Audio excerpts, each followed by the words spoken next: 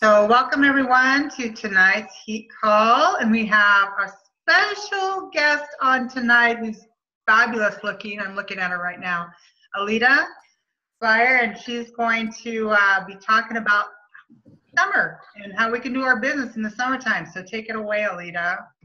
Oh, well, thank you, Carrie. I'm really happy to be able to do this. I actually really like the summertime for building business. I think it's one of the best times to build our business. Um, and so what I'm going to talk to you about tonight is just uh, some simple, easy ways that you can build your business and some simple, maybe 10 little um, ideas for you to maybe take note of and maybe pass on to your team so that they can also make the most out of their summer. And a lot of times people get kind of freaked out thinking that, you know, oh my gosh, summertime, everybody's taking vacations. I don't think I'm going to be able to talk to anybody. But I look at it really differently first and foremost, we have to check, do a mind check, right? We have to see where we're at. So when we organize our calendar, I always put my two conferences in and I always make a habit of that boot camp in every summer because it really does, you know, we talk about our product bridging the gap health wise and our business kind of bridging the gap for some people financially.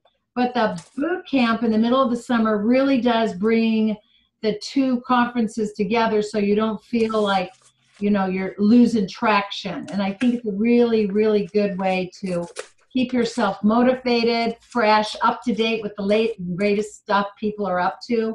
And I, just think that's a really important aspect of organizing your calendar. So in the summertime we want to look at the atmosphere of most of the homes right? The kids sometimes they're in your way they're screaming in the phone you're you have fear of them screaming in the phone and so it's really all about verbiage. It's all about engaging your family to help you out. You know, so some of them have camps they're going to. Um, so, you know, a lot of times moms or dads can go early, pick them up early so that you can expect to talk to another mom, or dad, or a grandpa when you go early to, do, to those. And, you know, you can really, it's all about the verbiage. So, you know, you could say things like, gosh, you know, I hope they get out on time. We have a really healthy pizza making celebration party today. And I really don't want them to miss that. And wait for the comment. You know, we talk too much. I think that's really important. I, I really believe I love the term solutioneer. So, and I think people will tell you a lot about themselves based on, you know, where they're at, what they're going, what they're concerned about, if we only would listen. You know, I remember being in Q school and I remember Randy Matthews, and we had some of the trainers say, Who are the best reps and it was actually the introverts you know why? Because they listen. They wish the extroverts would shut up. Anyway so um you know, you know i just really love this kind of thing coming up with creative ways of working the business. That's actually i love it. I mean i could just spend all day every day doing that. I like it when somebody has a problem that i can solve and do this. So um you know i have gotten customers in movie theaters, barbershops, Trader Joe's, sit, sitting next to people in restaurants, uh, the guy who fixed my stove when it was out of order, um, soccer moms, uh, the guy who fixed my spa, uh, my state farm agent, flight attendants, a store in the mall, hairdressers, booths, on the beach in Corona del Mar, at the post office. And I think summertime is a great time to ask for referrals, to find the curious, to be captivating enough so that you can say, gosh, you know, you know what I do. And I know you're probably really sick of me telling you what I do. But do you know of anybody that really has been struggling this last school year with their kids' health? Do you know anybody that really wants to keep their kids in Christian schools? Because I'm really looking to build my business in this area. When I was in France, the two girls I went with, I ended up going to bed early. So I just went down to a bistro and I met the neatest gal she was 26, speaks seven languages, and I just really was was really intrigued by her and asked her a ton of questions. And she is complete. I just sent her a box of stuff for she wants to be a rep. And um, you know, it's so funny because I really recommend when you do travel to take everything with you because it cost I think sixty dollars to mail everything I needed to mail to her. So um, just have your shakes, have everything in your suitcases with you. I love that term that somebody at one of the conferences said. Uh, be uh, I think she was saying be um, dressed right or be be prepared right. And what she was talking about is having all those items, having that swag bag in your car at all times. So I also think that it's really important to get your family engaged. Now, it can be a family collaboration and reward them when they're extra careful not to scream in your ear. So I don't like to reward kids all the time because we're rewarding kids for everything these days. We have smelly erasers and stickers and all kinds of stuff just for, you know, wanting them to develop good habits. And so I don't really like to reward my kids or my grandkids with things so much you know they should just have find joy in getting a good grade or find joy in helping others or just being considerate actually you know what about being considerate so we have to do a bit of organizing to minimize those interferences so uh, those of you who have husbands or partners or people in your house you can ask them to watch the kids while you're on a phone for half an hour uh, those of you with older kids can pitch in and create some things for the younger kids to do. And they can come up with all kinds of things, get their creativity going and their mind going. When I was little, I was the oldest of eight, so I created two clubs in the summer. One was called the Tippy Top Club, and the other one was called the Googly Eyes Club.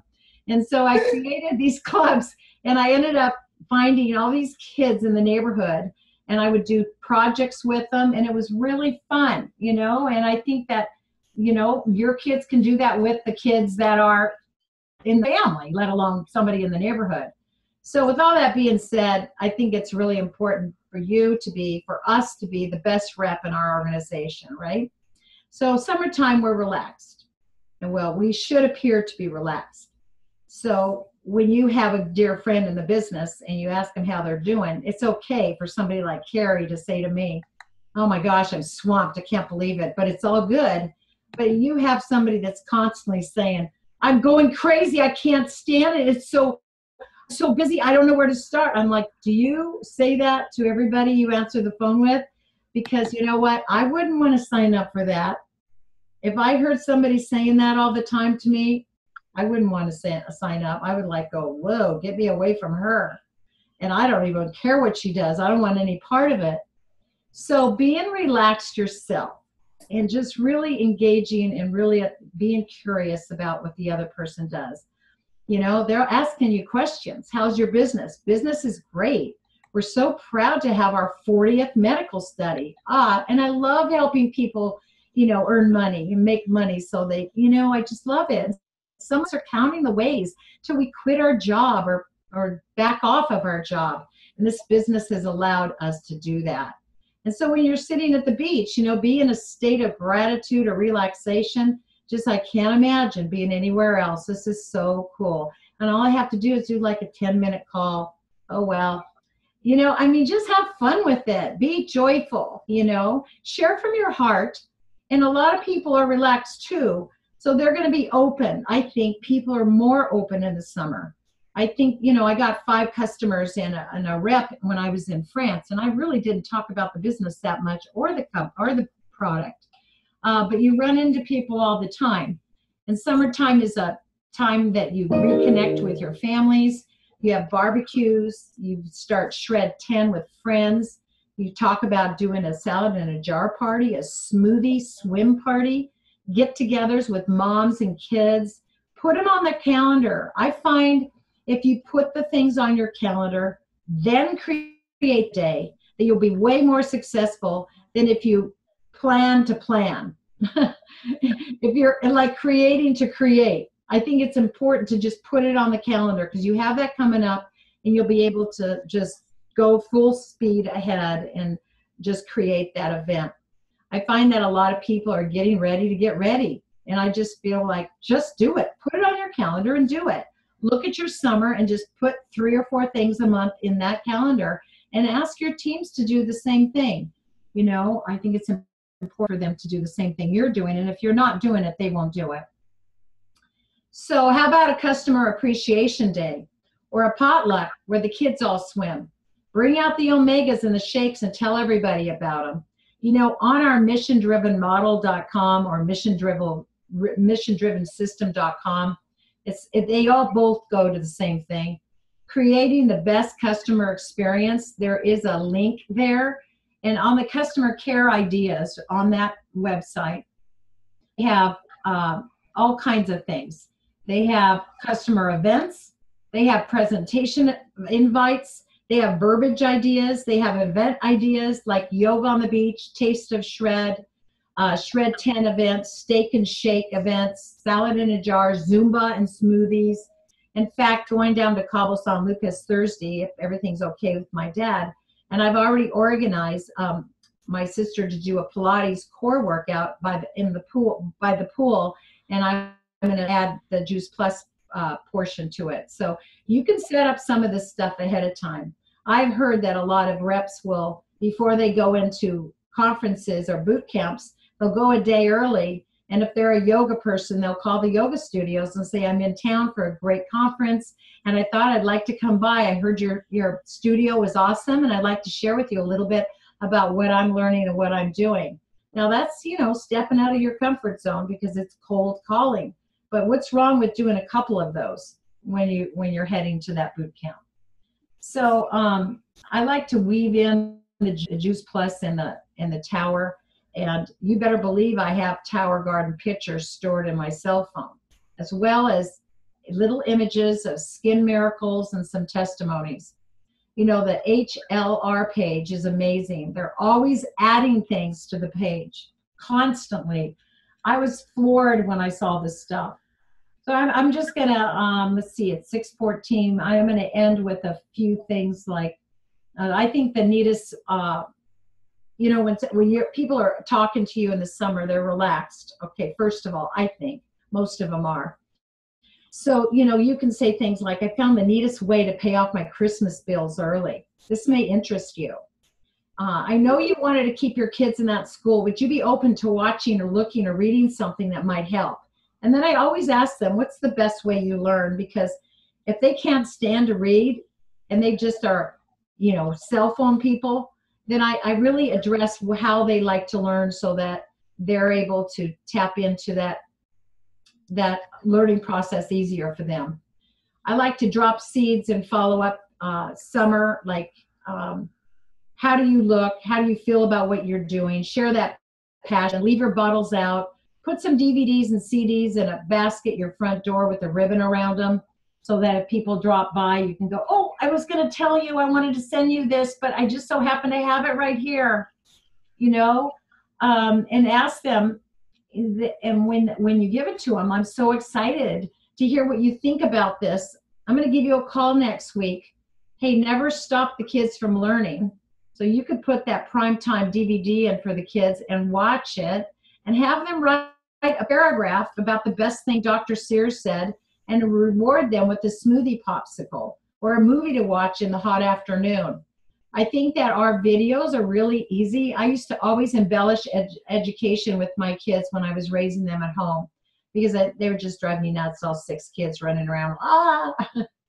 so I would have like a little learning time.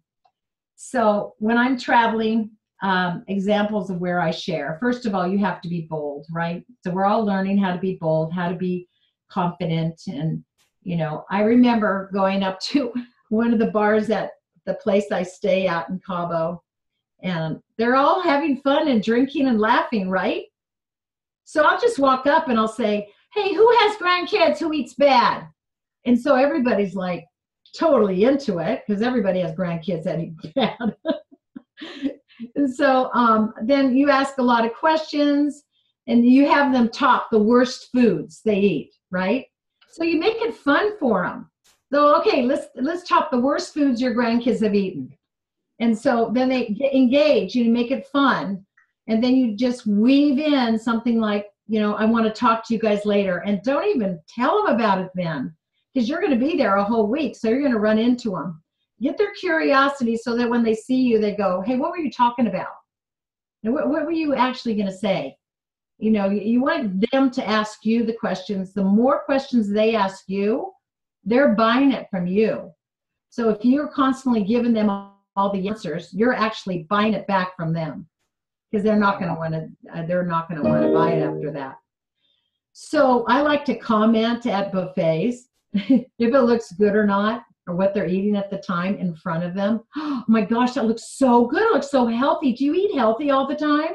You know, I like to mention things like, hey, I notice I'm not, you know, getting sunburned as much when I when I'm going out in the sun, or I'll say things out loud. Sometimes I'll be talking um, when I'm hiking or walking or not swimming because you can pretty much destroy your phone. But when I'm hiking, I'll, I'll be talking to somebody, and if it's somebody like a friend, I go, just humor me for a while. I'm going to talk on the phone about what I do. And one time I did that, and there was a nutritionist walking behind me. I was like, yeah, I just can't get over it. So many great things have happened to her since she started. And I just can't. And she was so curious. She stopped me and she said, What were you talking about? I so am into that. So I actually got a customer hiking on the mountain by me pretending like I was selling it to somebody on the phone who was a friend of mine who was okay with it.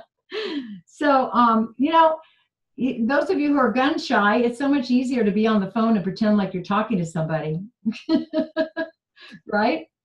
So, um, make sure you travel with enough samples. That's what I mean is like you make sure you do that. Always, always, always have them in your in your um, in your uh, purse or your bag. And you know, Tower Garden Fun in the summer for most of you here in Arizona is a little tricky. Tim Blank is actually coming in. He wants to make Arizona the indoor tower garden capital of the United States. So we have like five tours, and he's going to talk all about indoor gardening. Wow.